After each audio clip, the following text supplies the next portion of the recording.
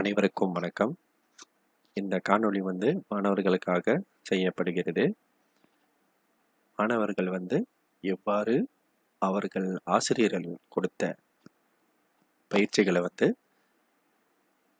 அதுக்கு பதிலளிக்கிறது அப்படின்னு இந்த காணொளியில் நம்ம பார்க்க போகிறோம் இப்போ மாணவர்கள் வந்து என்ன செய்யணும் அப்படின்னா இது வந்து என் வகுப்பு மாணவியோட ஒரு டேஷ்போர்ட்டு அந்த மாணவி வந்து என்ன செய்யணும்? ஆசிரியர் என்ன பயிற்சி கொடுத்துருக்காங்க? அதாவது ஆறாம் ஆண்டு தமிழ் மொழிக்கு என்ன பயிற்சி கொடுத்துருக்காங்க அப்படின்னு அவங்க டேஷ்போர்ட்டில் இந்தமாரி வரும்.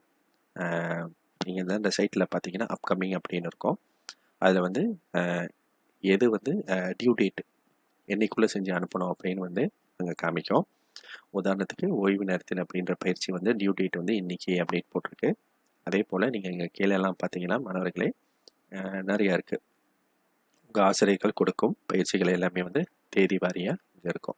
சரியா? அப்போ நீங்கள் வந்து பதில் அளிக்கிறது அப்படின்னா நீங்கள் என்ன செய்யலாம்? நீங்கள் இங்கேயும் கிளிக் பண்ணலாம். இல்லை இங்கேயும் கிளிக் பண்ணலாம். அப்படி இல்லாட்டி நேராக வந்து கிளாஸ் ஒர்க் அப்படின்னு நீங்கள் போனீங்க அப்படின்னா கிளாஸ் ஒர்க்கில் வந்து நீங்கள் பார்த்தீங்கன்னா தலைப்பு வாரியாக இங்கே இருக்கும் பயிற்சிகள். ஸோ எல்லாம் பிரித்து தனித்தனியாக இருக்கும். சரியா?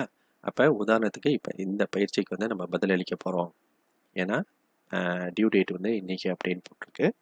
ஸோ இந்த பயிற்சிக்கு வந்து பதிலளிக்க போகிறோம் அப்படின்னு நம்ம முடிவெடுத்தோம் அப்படின்னா அப்போ மாணவர்களை நீங்கள் என்ன செய்யணும்? இங்கே விவசாயம் இருக்குல்ல விவசாயம் தட்டிடுங்க விவசாயம் தட்டினோடனே இங்கே வந்து அந்த ஆசிரியர் கொடுத்த பயிற்சி வந்து இங்கே இருக்கும். ஓகே. ஓய்வு நேரத்தில் என்ன நடவடிக்கைகள் மேற்கொள்கிறீர்கள் அப்படின்னு இருக்குது ஸோ இங்கே பார்த்தீங்கன்னா கேள்விகளுக்கு ஐந்து வாக்கியங்கள் பதிலளிக்கும் சரி. அப்போ நீங்கள் வந்து இந்த பயிற்சியை நீங்கள் செய்கிறீங்க அப்படின்னா ஓகே. உதாரணத்துக்கு நான் வந்து உங்களுக்கு இந்த மாரி செஞ்சு காட்டுறேன். இது வந்து ஒரு உதாரணத்துக்கு மட்டும்தான். ஓகே நீங்கள் வந்து ஐந்து வாக்கியங்கள் எழுத சொல்லியிருக்கீங்க சொல்லியிருக்காங்க. ஆசிரியர் நீங்கள் வந்து மூன்று வாக்கியங்கள் எழுதிட்டீங்க. சரியா? இன்னும் நாலு ஐந்து சேர்த்துக்கு வந்து உங்களுக்கு நேரம் பத்தலை அப்படின்னு சொல்லலாம். இல்லை இல்லை தெரியல அப்படின்னு இருக்கலாம். அப்போ நீங்கள் என்ன செய்யணும்? இதை வந்து ஆசிரியருக்கு அனுப்பணும் அப்படின்னா டர்ன் இன் அப்படின்னு நீங்கள் தட்டணும். அப்போ டர்ன் இன் அப்படின்னு நீங்கள் தட்டிட்டீங்க அப்படின்னா நீங்கள் செய்த பயிற்சியோட விடைகள் வந்து ஆசிரியருக்கு போய் சேர்ந்துடும் அப்போ இங்கே கேட்குறாங்க பாருங்கள் one attachment will be submitted okay submit பண்ண ஓகே டேர்ன் இன் அப்படின்னு நீங்கள் தட்டுங்க. சரியா? இப்போ அந்த பயிற்சி வந்து ஆசிரியருக்கு போய் சேர்ந்துருச்சு. சரியா? ஓகே இப்போ நீங்கள் வந்து அனுப்பிட்ட பிறகு நீங்கள் வந்து யோசிக்கிறீங்க இல்லை இன்னும் ரெண்டு வாக்கியத்தையும் எழுதிடுவோம் அப்படின்னு. அப்போ நீங்கள் என்ன செய்யணும்? இல்லையா சப்மிட் பண்ணியாச்சே முடியாது அப்படின்னு கவலைப்பட வேணாம். நீங்கள் திருப்பி என்ன செய்யுங்க? அன்சப்மிட் தட்டுங்க. சரியா அன்சப்மிட்னோடனே அன்சப்மிட் டு எட் ஒரு சேஞ்ச் அட்டாச்மெண்ட் அப்படின்னு இருக்கு. நீங்கள் அன்சப்மிட்னு தட்டுங்க. சரி அன்சப்மிட் தட்டினோடனே திருப்பி டேர்ன் எண் வந்துருச்சு. நீங்கள் என்ன செய்யலாம்? திரும்பவும் அதே இதை ஃபைலை வந்து நீங்கள் கிளிக் பண்ணிவிட்டு ஓகே நான் இன்னும் வந்து ரெண்டு வாக்கியம் வந்து ஹெட் பண்ண போகிறேன் அப்படின்னு நீங்கள் நினச்சிங்க அப்படின்னா நான் வந்து ஒரு உதாரணத்துக்கு தான் செஞ்சு காட்டுறேன். நீங்கள் ஓகே இந்தமாரி ஆட் பண்ணிடலாம். நீங்கள் கண்டிப்பாக இங்கே டைப் பண்ணி தான் ஆகணும். அது எந்த மொழியாக இருந்தாலும் பரவாயில்ல மொழி பாடமாக எதாக இருந்தாலும் பரவாயில்ல. இது வந்து நான் ஒரு உதாரணத்துக்காக உங்களுக்கு செஞ்சு காட்டுறேன். ஸோ எல்லா ஐந்து வாக்கியங்களும் போட்டுட்டீங்க. ஓகே உங்களுக்கு இப்போ திருப்தியாக இருக்குது நீங்கள் என்ன செய்யலாம்? திரும்பவும் டர்னிங் தட்டலாம். சரியா? டர்னிங் தட்டிட்டோனே தட்டிட்டோன்னே அது மொதல் கேட்ட மாரியே தான் உங்களை கேட்கும். டர்னிங் பண்ண போகிறீங்களான்னு ஓகே டர்னிங் ஓகே. இப்போ உங்களோட